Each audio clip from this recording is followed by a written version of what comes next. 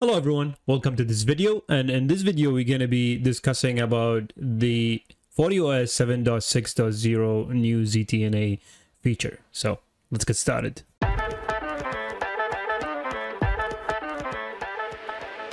Alright, so uh, we'll go to the uh, website document.fortinet.com and then we'll click on the FortiGate. Make sure that you are in the 7.6.0 uh, version now we're going to scroll back, click on new feature, and we're going to click on zero trust network access features. Now let's browse the uh, general feature first. The first feature we want to talk about is ZTNA support for UDP traffic. Now, uh, ZTNA supports UDP traffic if you have FortiClient 741 and later. If the FortiClient discovered that the destination uh, is uh, heading for uh, or destination is a UDP uh, connection, it will uh, FortiClient will form a UDP connection over uh, QUIC to the uh, FortiGate ZTNA gateway. And of course, after since we have ZTNA, after doing authentication, after doing the security posture check and authorization, FortiGate will form a connection with the ZTNA uh, destination, um, or FortiGate forms connection with the uh, internal destination and you would have end-to-end UDP traffic pass-through. Now, uh, on the FortiClient EMS, when you configure the ZTNA uh, destination, as um, you can uh, you can have there's a video about ZTNA destination uh, that I have on my uh, channel. You can refer to that in the description. Uh, but you need to make sure that you enable UDP when you create the ZTNA destination on the FortiClient EMS.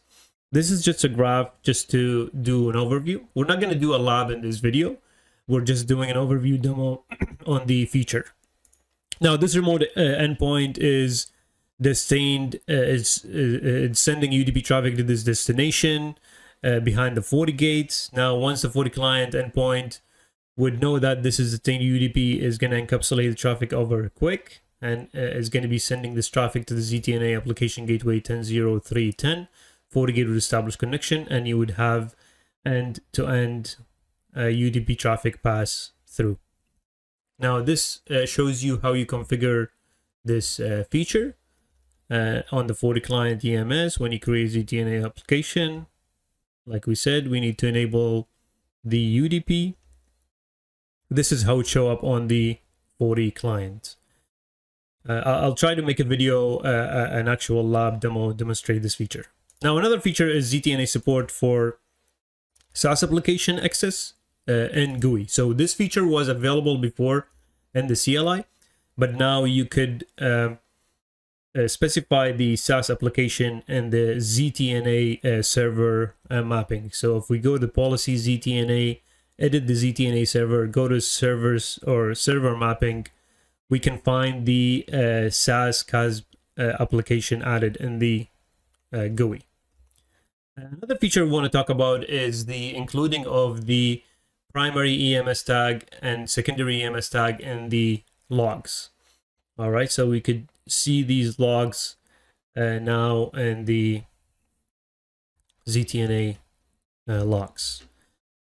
Um, there's another feature which is shared ZTNA information through the EMS connector. And this is available in FortiClient EMS 2, 725 or 741. Now, um, this feature is uh, previously when you're configuring TCP or a SaaS application in the ZTNA destination, you have to manually configure it on the FortiClient or FortiClient EMS. Now with this feature enhancement, FortiGate would share any ZTNA information um, uh, such as the ZTNA uh, VIP address and application address and port with the EMS connector. So on the FortiClient EMS, the configured ZTNA TCP and SaaS application are pulled into the ZTNA catalog and can be um, the ZTNA destination without any additional configuration. All right. I wanted to show one more feature, but this feature is more related to the VPN, but it's also using the ZTNA. So I'll go to release nodes and I'll go to um, new feature. I think it's under VPN.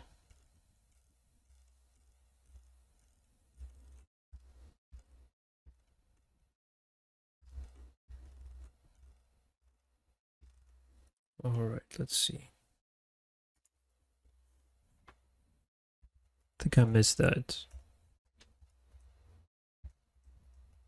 Yeah, so uh, here's the VPN. Now the feature is that you can specify when you establish a, dial-up VPN connection with a remote, um, uh, you know, um, destination, you could uh, specify a gateway match as the ZTNA, and you can specify the remote VPN IP address as a ZTNA tag. So enforce that security posture and uh, the dial-up uh, connection would be formed for this VPN only if this uh, IP address has been a match or remote gateway IP address. All right. So uh, that's it for this uh, video. I hope you guys had a good understanding of the uh, new ZTNA feature. Now stay tuned for my future video. See you later.